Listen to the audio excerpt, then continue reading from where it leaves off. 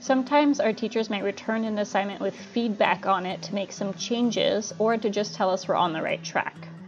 To find that piece of feedback, you'd look on the right side of your screen in the assignment that you're working in. So I'm currently in the assignment for distance learning on Wednesday, 325, a blue day. My feedback is over here under this tiny little heading that says feedback. Mrs. Bloomer's feedback to me is so cute. And that's where you'd find feedback from your teachers on specific assignments.